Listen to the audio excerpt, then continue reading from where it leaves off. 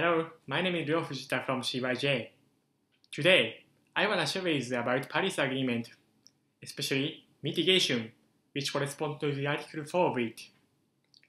The first paragraph of it says in summary, in order to achieve the long-term temperature goal, parties aims to reach the global peaking of GHG emissions as soon as possible.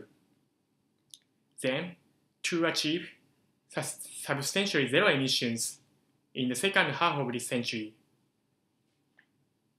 As it is now, however, the anthropogenic GHG emissions are increasing more and more rapidly than before after the 21st century.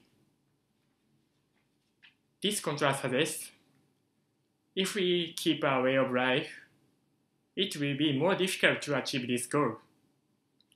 So, in my point of view, Paris Agreement can be taken as a declaration by the leaders in the world, like, we should change our way of life from now on. In 2050, I will be 60 years old. Can you guess what kind of society we are living in 2050? I'm very looking forward to seeing it. And I will do my best to achieve this goal in my way, in my own way. Thank you for listening.